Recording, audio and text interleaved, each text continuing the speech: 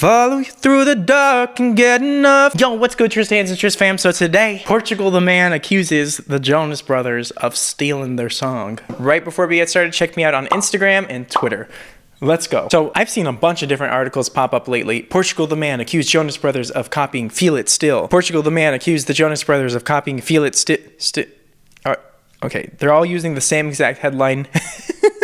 Isn't that ironic that the that these news companies are using the exact same headlines of each other, accusing someone else of copying? Anyway, here's what Portugal the Man tweeted out. To be fair, the chorus of Feel It Still sounds similar to Please Mr. Postman by the Marvelettes, which we respectfully cleared and thanked them for every chance we got, as one does at Jonas Brothers. So they're suggesting that just like they apparently ripped off another song in their own words. I don't really know the, the deal with that. Now they're sort of passive aggressively accusing the Jonas Brothers of ripping off their song. And look, I actually made the claim in my video when I first originally reacted to Sucker that these two songs do kind of sound similar. And I actually was, I think I might have been the first person to say that. So you know who this reminds me of actually? This reminds me of Portugal the Man. Y'all know that that that group that's like uh what is the song? I- am a rebel just for kicks now. At least publicly. I might have even said it before this tweet. I did say it before this tweet. Oh my god. Maybe they watched my video. Maybe Portugal the Man is looking up average, mediocre, overrated vocal coaches on YouTube to try and get out for their music. I don't know. Anyway, so I definitely heard the similarities, but what we're gonna do is we're gonna listen to both songs side by side and see if there are any similarities. And maybe Portugal the Man is right. Let's take a look. Say the word now, go anywhere blindly.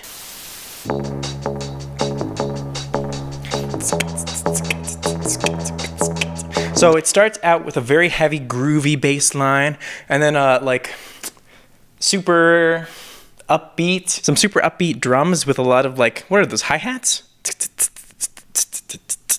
To kind of keep this light and energetic feeling to it. No kicks, no snares that I can hear.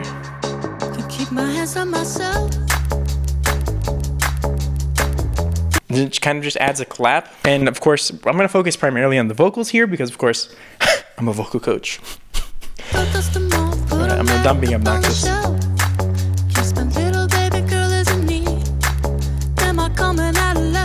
So entirely in falsetto. And I'm coming out of left field.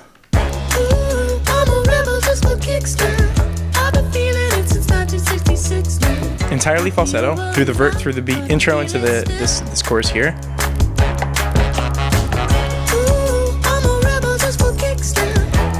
In terms of instrumentation, there's a, definitely like a little bit of a saxophone back there, and then you've every once in a while got this like little bit of a grunt or a hey that kind of reminds me of Austin Powers.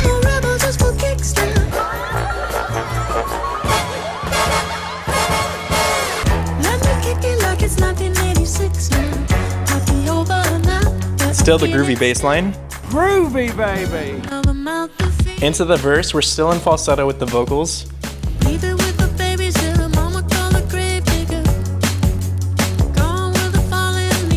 Okay, we get the, we get the idea. Let's take a listen to Jonas Brothers.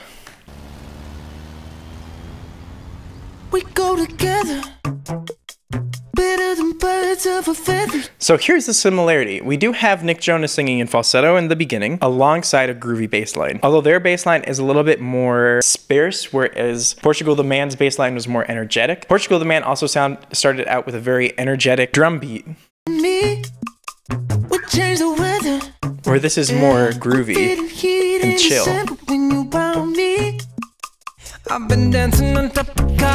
Okay. so Portugal the man, their vocals, first of all, was one singer singing the whole way through. Second of all, there's no chest voice in the entire song anywhere. Chest voice being like sort of the place that you speak from or like, hey, call out from. And falsetto being more like the like when guys sing or speak in falsetto, it can tend to sound a little bit girly. I'm just trying to give you guys some like, I'm not trying to be sexist here. I'm just trying to give you guys like an easy way of thinking about these things. Almost like Mickey Mouse. How about that? There's sort of a Mickey Mouse sound behind it. Respect women. This is completely different. Vocally, it's completely different. There's some similarities in terms of like a, a bass line and like a little bit of drums being in the first, like the intro of the song. But he's doing something completely different with his voice. Completely different. And also the melody of the songs is nowhere near the same. I follow you through the dark. Follow you through the dark and get enough is where this guy's coming from. And the other dude, I'm a rebel just for kicks now. Got me feeling in 1966 now. They're two completely different vocal styles. Like they're not even remotely similar. Enough. You're the medicine and the pain. Harmonies, there's no harmonies in Portugal the Man song. I'm kind of coming for Portugal the Man here. I love them and I love their music. I just think that this tweet, so far as I can tell, is like unreasonable. Like, why would you come for Jonas Brothers like that? Tattoo inside my brain, and baby, you know it's obvious. I'm a sucker for you. Say So there's a little bit of similarities again here, kind of. Like, yeah, Nick Jonas is leading into the chorus with like falsetto, but nobody owns falsetto. Shawn Mendes also has a song called Nervous where he's singing the chorus primarily in falsetto. A little bit nervous. But that there's no you can't have ownership on singing in falsetto.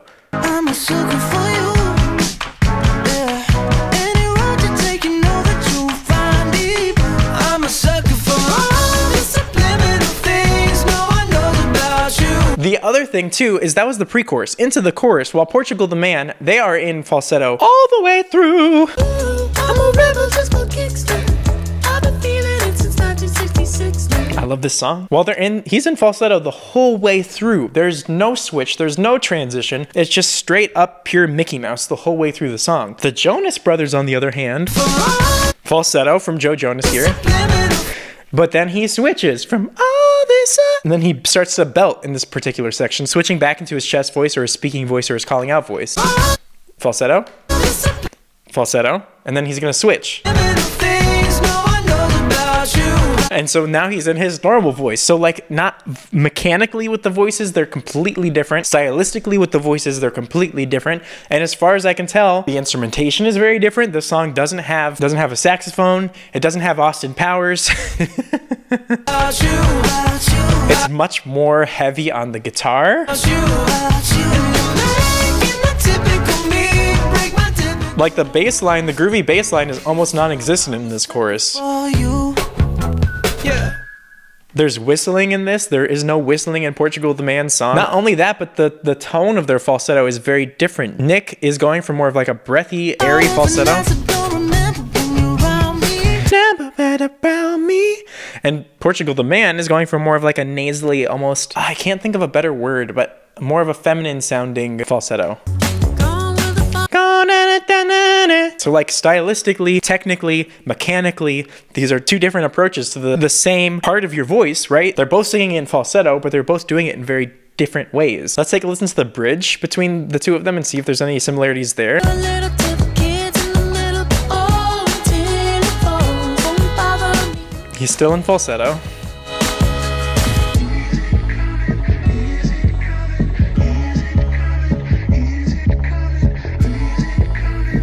And a little bit of like a repetitive, like almost electro, more modern sounding thing going on here. And then a creepy laugh, okay.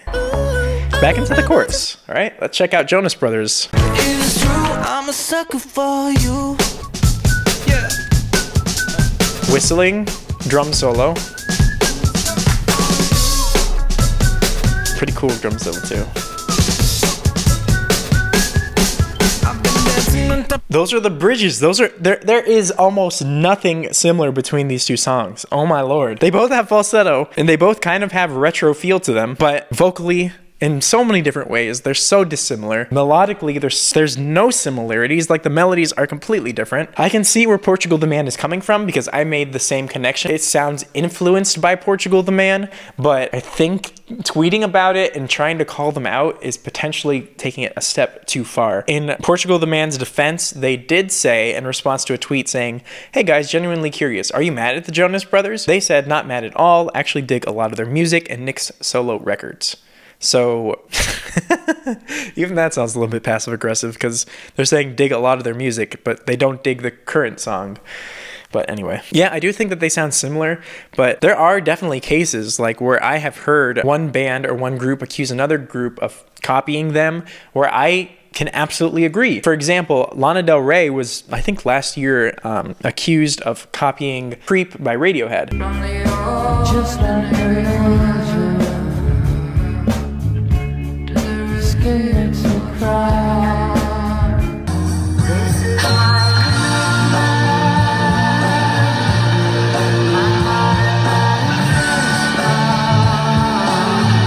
Like they had very similar melodies. In fact, the melody was almost exactly the same in a lot of places. Similar chord progressions and a similar like feel to the song. And I could totally see how you could go from one and say, "Oh yeah, they definitely took the same melody. They definitely took the same chord progression. They definitely took all these same elements and used it for the song."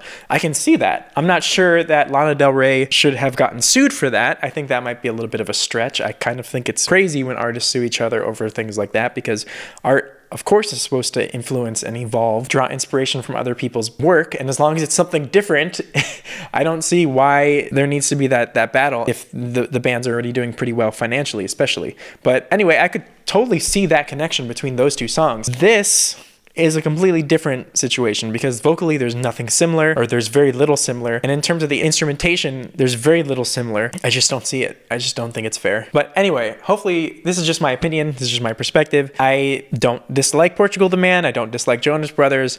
I actually enjoyed this kind of video and i enjoyed this kind of a call out because it gives me the opportunity to talk about this and it gives me content.